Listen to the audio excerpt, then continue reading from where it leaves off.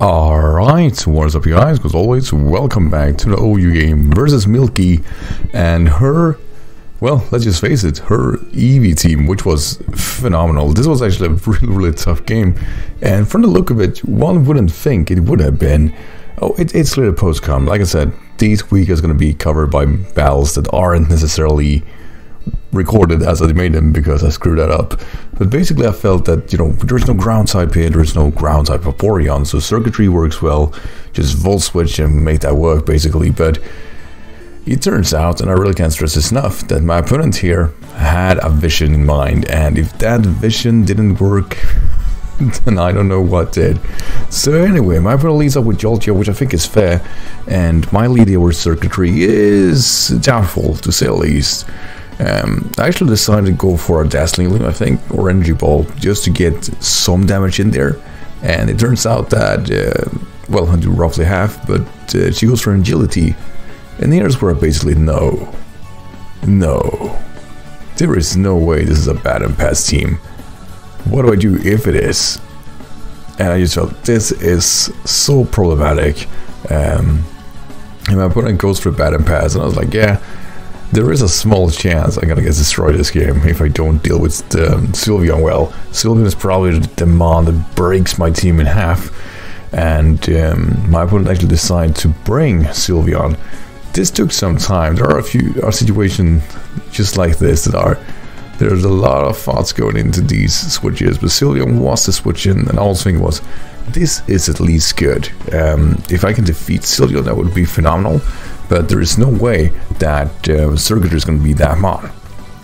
So I was leveling here, I felt, no, just upon the Saltfest should be able to chip it down. And um, I figure play rough for liquidation to do just fine. So my opponent goes for Calm Mind, and I do a bit of a misplay here. I actually decided to go for a Waterfall or liquidation over play rough. There was no reason not to, because Vaporeon was always going to be a very good switch in. More so if my opponent decided to Baton Pass here and um, then I would have an absolute of problems. Um, so I think my opponent did level back and forth uh, of what she wanted to do. She knew this was a situation that could backfire, and uh, I think eventually she decided to go instead for another Calm Mind, probably on the feeling that I would belly drum. Uh, which I think is fair because if you predict that right, she could just Baton Pass uh, Sylveon's boost to Vaporeon so like I said, this there are a few situations like this where I really think about it. But she did decide to go for Calm Mind, and um, I was just happy because I was really stressing out that I didn't go for Play Rough. And this liquidation turns to be enough to KO. So that was great. I definitely appreciated that because I think, alright, I don't need to come in a situation like that again. And since I am, my opponent doesn't know it, but I am a Solvest, so Sylveon or Jolteon comes in. I was thinking, I could Aqua Jet it and probably kill it, but do I want to risk it? I do have safe switching, so I've just, ah, let's go steal it. It's safe. There is no way my opponent goes for agility. If she goes for something, it's going to be an attack. No, she goes for agility. And I was like, oh my god. I swear, I avoided this situation, and now I'm getting punished for it so much. So I was like, what do I even do? I do initially go for Toxic here, mainly because I think Vaporeon is the only real good switching. Um, there's no downplay really to, um, well, going for a Toxic anyway. And Vaporeon does actually come in, and I was like, alright, alright, alright. What do I do versus Vaporeon? I'm pretty sure this is the Acid Armor variant. It's gonna Baton Pass it even further. So I do recognize that there is no way for me to go for body press. It will better. It actually will be very problematic if I decide to take the route. So I did think Brawly, I didn't think Concite, and uh, I think just the situation made more sense, mainly because of Leaf Storm. And maybe I think I can break it apart for there. As like I said, the, um, the acid armor made sense. So yeah, not gonna lie, this was kind of a low point for me because I do kind of feel that there are switches here that I don't deal with, and I don't want to deal with either Umbreon or Espeon. So I decided to go for Leaf Storm here. I was kind of hoping my opponent went for another Acid Armor. Sadly, that didn't happen, and um, you guys gonna see something marvelous. I never feared in my life a Flareon. I, I, I never, never wanted to do that, but that ended today because Leaf Storm is missing, which it shouldn't have done a whole lot, but just that it didn't do enough was basically enough for me. To just like, oh fuck it. So here's the thing: I have Dragonite. Dragonite can do a lot of damage and um, I just wanted to chip this thing down. Um, but my opponent goes directly for Fire Fang, and it turns out it's enough. Like, it does so much, and it's not even boosted. I was like, that doesn't make sense. That's a Fire Fang. It has to be banded. So with that said, I thought, alright, fine. That means at least you're locked into that. I can just go for a Dragon Dance. I know you're plus two, so I just need like two Dragon Dances and I should be fine. And um, say we'll break one law in Baton Pass, we can always break the Dynamax rule too, right? And that's what we do. So here comes the Dynamax Flareon. And still, I don't fear this mon. I don't. I had no reason not to fear the Flareon. You, you know that feeling. Flareon is not a dangerous mon, it's not broken, it's not busted. It has actually max strike, so I can only assume it's a quick attack variant. And it does alright. Marvel Scale does put me off the worst of it. The issue with that is that I get a minus one speed, so the Dragon Dance doesn't necessarily negate my boost.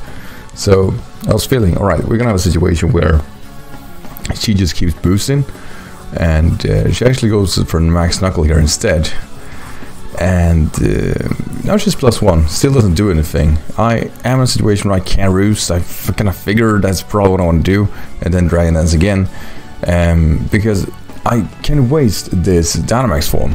So with that in mind, like now I Dragon Dance because um, I pretty much figured out you probably want to go for Max Knuckles, right? And um, so now she's plus two, and I know I don't have speed because she got a plus two behind her.